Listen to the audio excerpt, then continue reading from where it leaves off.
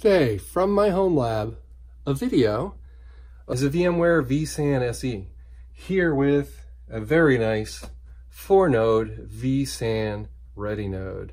I'm going to get into the details, but first have a little fun. So you're having a complete look around the front and back of this server and I'm going to show you the features inside and under the hood in my usual manner to try to describe to you what a four node vSAN can look like in a 2U chassis. Now this is a Supermicro SYS, meaning system, dash 2029BT dash HNR.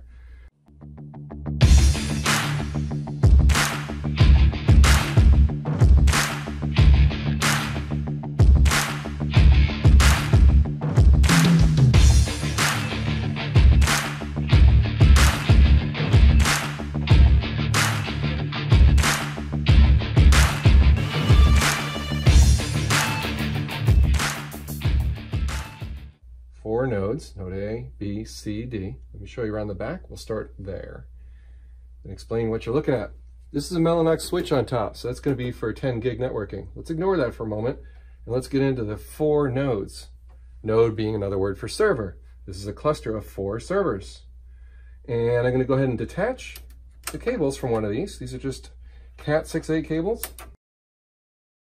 But I've now attached, detached the IPMI or BMC the management, the out-of-band management here, and the two 10 gig interfaces that the actual VMs and the vSAN will use. Now, when I pull out this node, I just push down here to unlock and give it a pull from both sides, and it's gonna slip right out. So we're gonna see the Xeon under the covers here. And there you have it. Now, we need to have a careful look at what the camera is looking at. Uh, let me come behind the camera here for a moment, and we will look at the Intel Optane to start. Two Intel Optanes. You'll notice one flipped upside down here. The PCI slots are next to each other, right? So of course, one's going to be inverted relative to the other. So you're looking at the um, passive cooling here through the honeycomb openings in the metal on the each PCIe, half height, half length, so HHHL PCIe slot for these familiar Intel Optane P4800X NVMe Optane drives. Now, if we look closely here, you're going to see that we're on a 375 gig capacity. So that's over by my thumb right here. All right, two of them. Why two? We're going to get into that in a minute. Now here we're looking at shrouds over some of the memory DIMMs next to one of the CPUs E, and then another E. This one also has three DIMMs on either side. Back here, we're looking at power. So this chassis is not a blade chassis at all that you might be thinking. All it is is four nodes sharing two power supplies. So if I pull this little lever and this handle, I can show you one of those two power supplies looks like this.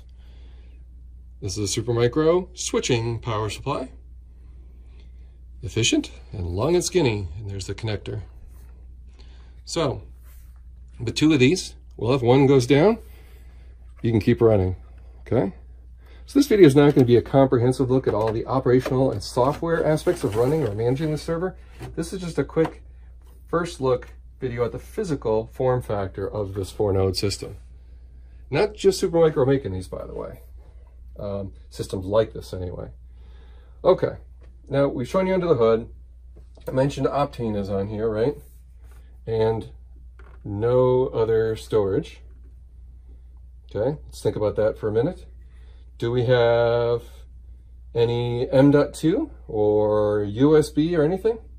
On this particular motherboard that I'm looking at, I don't believe so.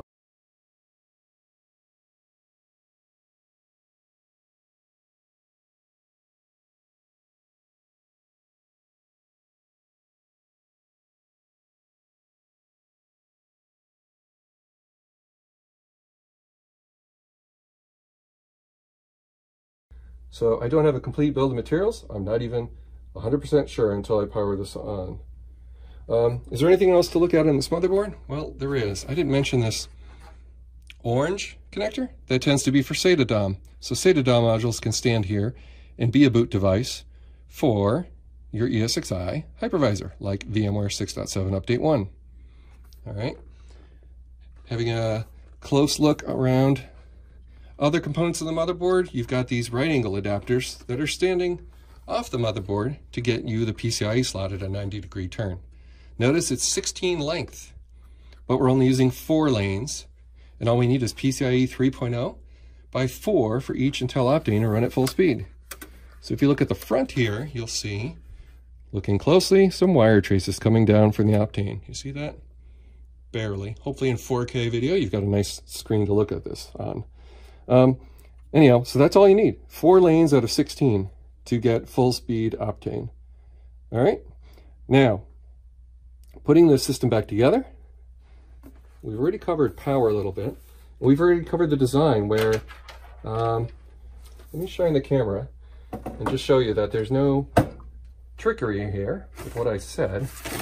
The power supplies and the connections, it's all just passive. So let me take the camera off the tripod and let's go in closer. Now, gotta get um, an LED light here. There we go.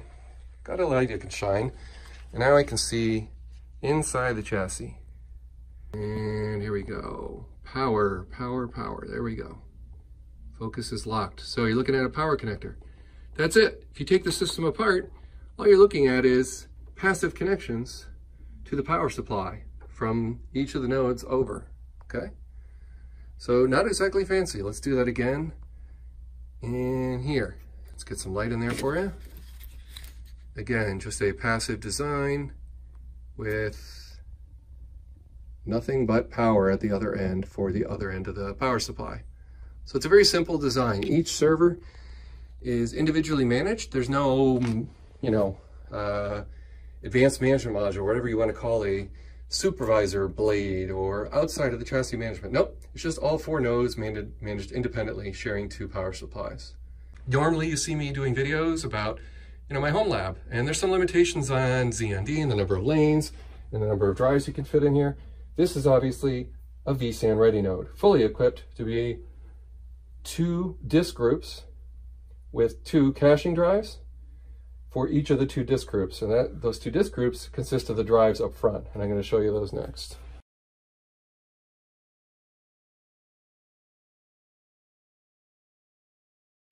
You'll notice there's no metal over this. That reduces weight.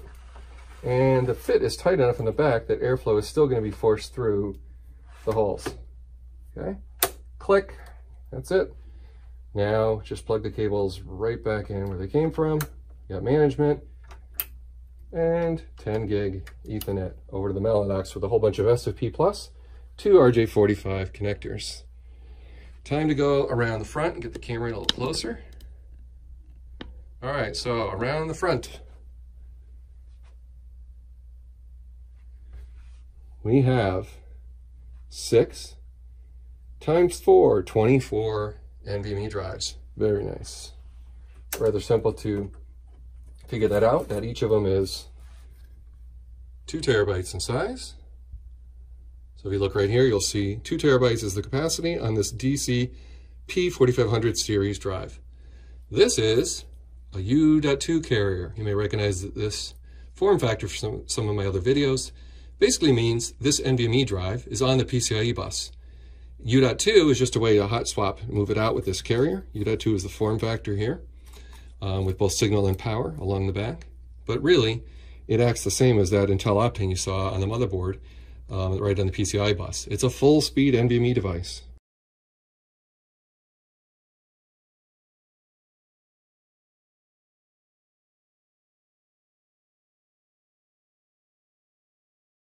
Those groupings, again, six, six, six with a slot in the middle. Just ignore that. That's for airflow and then another six. Now this Supermicro server, what else could I point out?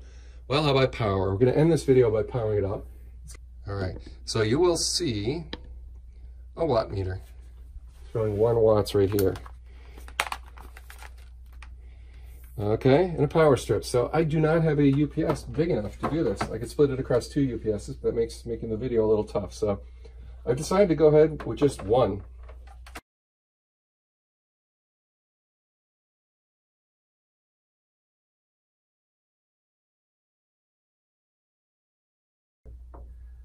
Do without the Mellanox first, because Mellanox is crazy loud. So I want to show you the servers and then we'll add the Mellanox last. Firing this guy up, get the Mellanox cables out of the way for networking later. And here we go.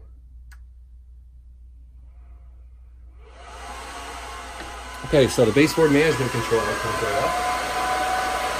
The server doesn't have brains enough yet to know if it's cool enough in the room that it's in, so it just goes with full fan by default. That's pretty normal for servers. And whether it's Supermicro brand or another brand, that's just how they act. So the noise level in here is going to get a lot less pretty soon. And that's when it's done booting and realizing, oh, things might not be that bad. Now earlier, I did have the systems on, so the BIOS is probably shipped at factory default to say, oh, keep the systems on in the last state they were in. Let me demonstrate that. If you look around the front, we'll see the status of the server. And yes, all four are powered up. I'll go ahead and power them down.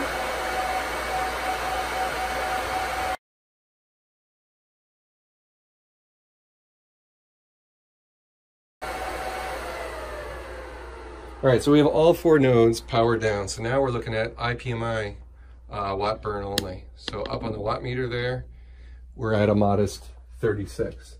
Not bad at all for four different IPMI devices that are all booted and waiting for us to turn the server on.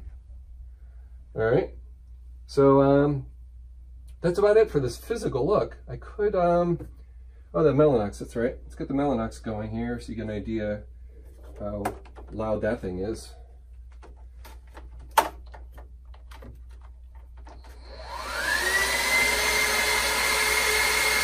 Kind of ridiculous, right?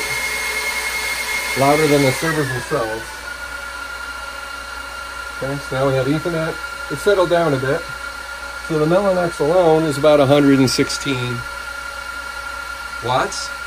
And now time to turn the servers back on. Let's see how much this entire assembly uses without any kind of, um, you know, benchmark or load running on there other than just, um, well, waiting for an operating system to be installed. So we'll go ahead and do that now. Here we go, starting 115.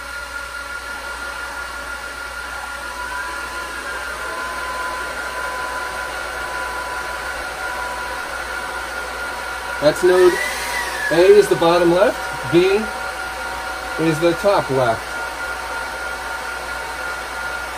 And now we're turning on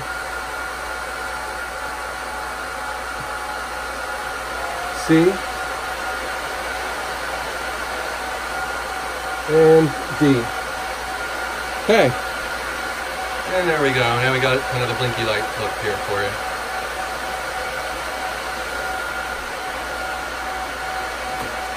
Alright. Going back to full illumination, I want to show you what the watt burn ended up being at. So we're at 944.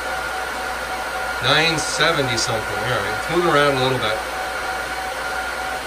So we have a good sense of the burn, we have a good sense of all the physical aspects of the server. I showed you the identifiers, these are little blue lights you can turn on remotely. And then of course, I'm using physical power buttons, but we could do that for IPMI. Okay, that is not a graceful shutdown, but it doesn't matter. There's no hypervisor, there's nothing on these drives whatsoever yet. So it really does not matter. So that's it for this first look video at the physical layout of this system design by Supermicro.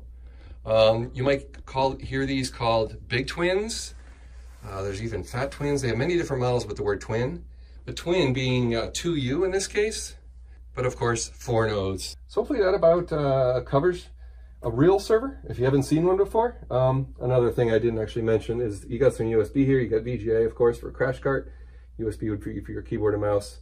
And of course, two more SFP modules there. You could do 10 gig four times on this server. Two RJ45, two SFP pluses right over there that I'm not currently using.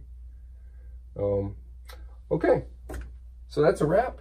That's a complete look at the physical aspects of this particular four node server. Hopefully you found this video helpful. Thanks for watching.